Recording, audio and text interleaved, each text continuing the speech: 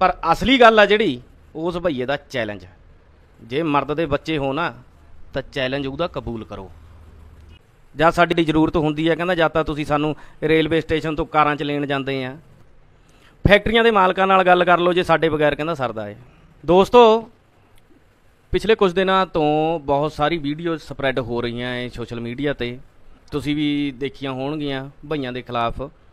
ਤੇ ਬਹੁਤ ਸਾਰੇ ਲੋਕ ਪੋਸਟਾਂ ਵੀ ਪਾ ਰਹੇ ਆ ਕੁਝ ਲਿਖ ਕੇ ਵੀ ਪਾ ਰਹੇ ਨੇ ਕਿ ਭਈਆਂ ਨੂੰ ਇੱਥੇ ਤੇ ਭਜਾਓ, ਨਠਾਓ, ਕੋਈ ਇਹ ਕਹਿ ਰਿਹਾ ਹੈ ਕਿ ਭਈਆਂ ਨੂੰ ਕਾਰੋਬਾਰ ਨਾ ਹੋ ਦਿਓ, ਕੋਈ ਕਹਿ ਰਿਹਾ ਹੈ ਕਿ ਭਈਏ ਤੋਂ ਸਮਾਨ ਨਾ ਖਰੀਦੋ, ਪੰਜਾਬੀ ਤੋਂ ਸਮਾਨ ਖਰੀਦੋ। ਖੈਰ, ਤਾਂ ਅੱਜ ਇੱਕ ਭਈਆ ਵਾਲ ਕਟਾਉਣ ਆਇਆ ਮੇਰੇ ਕੋਲ। ਵੈਸੇ ਉਹਨਾਂ ਦਾ 14 15 ਜਣਿਆਂ ਦਾ ਜੱਥਾ ਹੈ, ਮੋਟਰ ਤੇ ਰਹਿੰਦੇ ਇੱਥੇ ਸਾਡੇ ਨਜ਼ਦੀਕੀ ਪਿੰਡ ਤੇ ਤੇ ਤਕਰੀਬਨ 15 ਕੁ ਸਾਲ ਤੋਂ ਮੇਰੇ ਕੋਲ ਆ ਰਹੇ ਹੈ ਤੇ ਇਹੋ ਜੀ ਗੱਲ ਨਹੀਂ ਕਿ ਸਾਰੇ ਭਈਏ ਅਨਪੜ੍ਹ ਹੁੰਦੇ ਆ, ਪੜ੍ਹੇ ਲਿਖੇ ਸਮਝਦਾਰ ਵੀ ਬਹੁਤ ਹੁੰਦੇ ਆ। ਤੇ ਐਦਾਂ ਹੀ ਬੈਠੇ ਤਾਂ ਗੱਲਾਂ ਬਾਤਾਂ ਚੱਲਣ ਲੱਗ ਗਈਆਂ ਕਿ ਅੱਜ ਕੱਲ ਤੁਹਾਡੇ ਖਿਲਾਫ ਮੈਂ ਕਿਹਾ ਬਹੁਤ ਸਾਰੇ ਵੀਡੀਓ ਆ ਰਹੀਆਂ, ਬਹੁਤ ਸਾਰੇ ਕਮੈਂਟ ਆ ਰਹੇ ਆ, ਬਹੁਤ ਸਾਰਾ ਰਿਟਰਨ ਚ ਆ ਰਿਹਾ ਹੈ ਕਿ ਤੁਹਾਨੂੰ ਭਜਾਉਣ ਦੀ, ਨਠਾਉਣ ਦੀਆਂ ਗੱਲਾਂ ਹੁੰਦੀਆਂ ਹੈ। ਤਾਂ ਉਹ ਭਈਏ ਨੇ ਜੋ ਗੱਲਾਂ ਕਹੀਆਂ ਏ ਮੈਨੂੰ, ਉਹ ਮੈਂ ਤੁਹਾਡੇ ਤੱਕ ਪਹੁੰਚਾਉਣ ਲੱਗਿਆ ਏ। ਉਹ ਇਹਦੇ 'ਚ ਕੋਈ ਮੇਰਾ ਆਪਣਾ ਸ਼ਬਦ ਨਹੀਂ ਹੈਗਾ, ਸਾਰਾ ਕੁਝ ਉਸ ਭਈਏ ਦਾ ਹੀ ਆ। ਇਸ ਲਈ ਮੈਂ ਸਿਰਫ ਤੁਹਾਡਾ ਪੋਸਟਮੈਨ ਮੈਂ ਸਿਰਫ ਤੁਹਾਡੇ ਤੱਕ ਗੱਲ ਪਹੁੰਚਾ ਰਿਹਾ ਜੋ ਸ਼ਬਦ ਆ ਉਹ ਭਈਏ ਦੇ ਨੇ। ਤਾਂ ਉਹ ਭਈਏ ਨੇ ਪੱਕਾ ਹੱਲ ਦੱਸਿਆ ਜੀ ਆਪਣਾ ਇੱਥੇ ਤੋਂ ਬਿਹਾਰ ਵੱਲ ਨੂੰ ਚਾਲੇ ਪਾਉਣ ਦਾ ਬੰਗਾਲ ਵੱਲ ਨੂੰ ਚਾਲੇ ਪਾਉਣ ਦਾ। ਉਹ ਕਹਿੰਦਾ ਅਸੀਂ ਕਹਿੰਦਾ ਇੱਕ ਦਿਨ ਦੇ ਵਿੱਚ ਇੱਥੇ ਤੇ ਚਲੇ ਜਾਈਏ ਜੇ ਪੰਜਾਬੀ ਆਹ ਕੰਮ ਕਰ ਲੈਣ। ਦੋਸਤੋ ਚੈਲੰਜ ਕਰ ਰਿਹਾ ਉਹ ਭਈਆ ਤੁਹਾਨੂੰ। ਤੇ ਉਹਦਾ ਚੈਲੰਜ ਇਹ ਆ ਕਿ ਹੁਣ ਇਸ ਵਕਤ ਜੀਰੀ ਦਾ ਮੌਸਮ ਆ ਰਿਹਾ ਧਾਨਾਂ ਦਾ ਮੌਸਮ ਆ ਰਿਹਾ ਏ। ਹੁਣ ਧਾਨ ਲੱਗਣੇ ਆ। ਤੇ ਉਹ ਕਹਿੰਦਾ, ਜੇ ਮੰਨ ਲਓ ਤੁਸੀਂ ਇੰਨੀ ਗੱਲਾਂ ਲਿਖ ਰਹੇ ਆ, ਕਮੈਂਟਾਂ ਦੇ ਵਿੱਚ, ਗਾਲਾਂ ਕੱਢ ਰਹੇ ਆ ਕੁਝ ਵੀਡੀਓਜ਼ ਪਾ ਰਹੇ ਆ, ਤਾਂ ਮੈਂ ਤੁਹਾਨੂੰ ਇੱਕ ਗੱਲ ਕਹਿਣਾ ਏ ਵੀ ਤੁਸੀਂ ਇਸ ਵਾਰ ਧਾਨ ਸਾਡੀ ਮਦਦ ਤੋਂ ਬਗੈਰ ਲਾ ਕੇ ਦਿਖਾ ਦਿਓ। ਦੋਸਤੋ, ਪ੍ਰਵਾਸੀ ਨੇ ਚੈਲੰਜ ਕਰਤਾ ਪੰਜਾਬੀਆਂ ਨੂੰ, ਠੀਕ ਆ? ਹੁਣ ਉਹਨੇ ਇਹ ਰਸਤਾ ਦੱਸਤਾ, ਕਹਿੰਦਾ, ਜਦ ਤੁਸੀਂ ਸਾਤੋਂ ਕੰਮ ਨਹੀਂ ਲਓਗੇ ਜਾਂ ਸਾਨੂੰ ਇੱਥੇ ਤੇ ਕਮਾਈ ਨਹੀਂ ਹੋਊਗੀ, ਫਿਰ ਅਸੀਂ ਆਪਣੇ ਆਪ ਕਿੰਨਾ ਦਿਨ ਕਹਿੰਦਾ, ਪੱਲੇ ਤੋਂ ਖਾਂਦੇ ਰਹੋਗੇ, ਅਸੀਂ ਆਪਣੇ ਆਪ, ਆਪਣੇ ਦੇਸ਼ ਨੂੰ ਝਾਲੇ ਪਾ ਦੇਣੇ, ਕਹਿੰਦਾ। ਇਹ ਉਹਦੇ ਸ਼ਬਦ ਆ ਔਰ ਉਹਨੇ ਇਹ ਵੀ ਗੱਲ ਕਹੀ ਆ, ਕਹਿੰਦਾ ਇਹ ਜ਼ਰੂਰੀ ਨਹੀਂ ਹੈਗਾ, ਕਹਿੰਦਾ ਵੀ ਹਾਂ, ਸਾ- ਅਸੀਂ ਆਕੜ ਮਾਰ ਰਹੇ ਆ ਕਿ ਸਾਡੇ ਬਗੈਰ ਤੁਹਾਡਾ ਸਰਦਾ ਨਹੀਂ। ਕਹਿੰਦਾ ਪੰਜਾਬੀਆਂ ਦਾ ਸਰਦਾਰ, ਪੰਜਾਬੀਆਂ ਨੇ ਸਾਰ ਕੇ ਵੀ ਦਿਖਾਇਆ ਹੋਇਆ ਏ। ਕਰੋਨਾ ਕਾਲ ਦੇ ਵਿੱਚ ਇਹਨਾਂ ਨੇ ਕਣਕ ਆਪਣੇ ਹੱਥੀ ਵੱਢੀ ਆ, ਧਾਨ ਆਪਣੇ ਹੱਥੀ ਲਾਏ ਆ।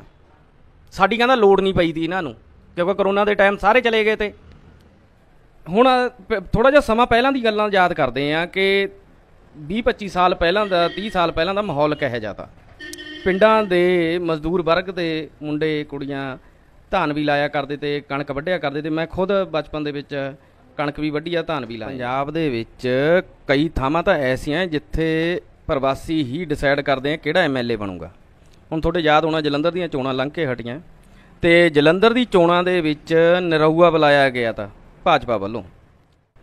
ਲੁਧਿਆਣੇ ਵਰਗੇ ਸ਼ਹਿਰ ਦੇ ਵਿੱਚ ਪ੍ਰਵਾਸੀ ਡਿਸਾਈਡ ਕਰਦੇ ਆ ਕਿ ਇਹ ਕਿਹੜਾ ਐਮਐਲਏ ਜਿੱਤੂਗਾ।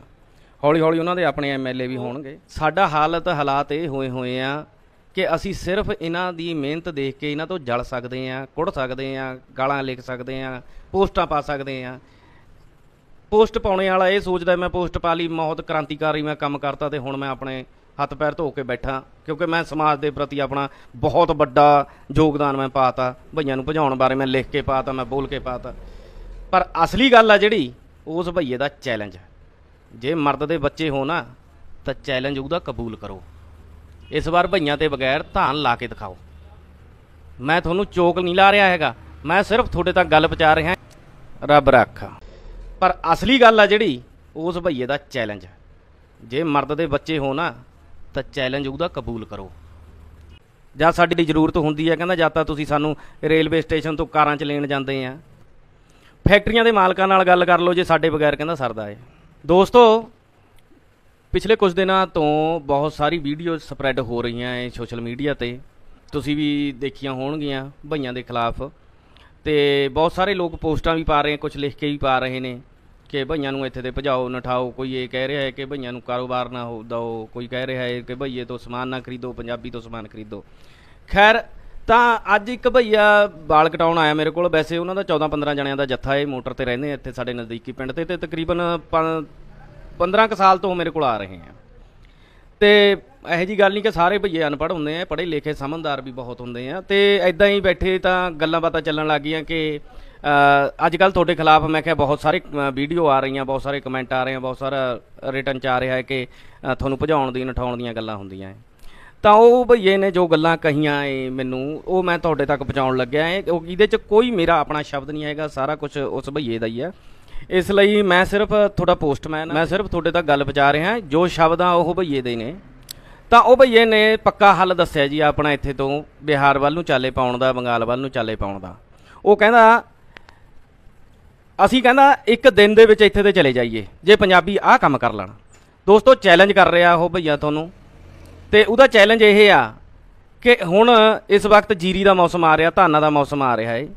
ਹੁਣ ਧਾਨ ਲੱਗਣੇ ਆ। ਤੇ ਉਹ ਕਹਿੰਦਾ, ਜੇ ਮੰਨ ਲਓ ਤੁਸੀਂ ਇੰਨੀ ਗੱਲਾਂ ਲਿਖ ਰਹੇ ਆ, ਕਮੈਂਟਾਂ ਦੇ ਵਿੱਚ, ਗਾਲਾਂ ਕੱਢ ਰਹੇ ਆ ਕੁਝ ਵੀਡੀਓਜ਼ ਪਾ ਰਹੇ ਆ, ਤਾਂ ਮੈਂ ਤੁਹਾਨੂੰ ਇੱਕ ਗੱਲ ਕਹਿਣਾ ਏ ਵੀ ਤੁਸੀਂ ਇਸ ਵਾਰ ਧਾਨ ਸਾਡੀ ਮਦਦ ਤੋਂ ਬਗੈਰ ਲਾ ਕੇ ਦਿਖਾ ਦਿਓ। ਦੋਸਤੋ, ਪ੍ਰਵਾਸੀ ਨੇ ਚੈਲੰਜ ਕਰਤਾ ਪੰਜਾਬੀਆਂ ਨੂੰ। ਠੀਕ ਆ? ਹੁਣ ਉਹਨੇ ਇਹ ਰਸਤਾ ਦੱਸਤਾ ਕਹਿੰਦਾ, ਜਦ ਤੁਸੀਂ ਸਾਤੋਂ ਕੰਮ ਨਹੀਂ ਲਓਗੇ ਜਾਂ ਸਾਨੂੰ ਇੱਥੇ ਤੇ ਕਮਾਈ ਨਹੀਂ ਹੋਊਗੀ, ਫਿਰ ਅਸੀਂ ਆਪਣੇ ਆਪ ਕਿੰਨਾ ਦਿਨ ਕਹਿੰਦਾ, ਪੱਲੇ ਤੋਂ ਖਾਂਦੇ ਰਹੋਗੇ, ਅਸੀਂ ਆਪਣੇ ਆਪ, ਆਪਣੇ ਦੇਸ਼ ਨੂੰ ਝਾਲੇ ਪਾ ਦੇਣੇ ਕਹਿੰਦਾ।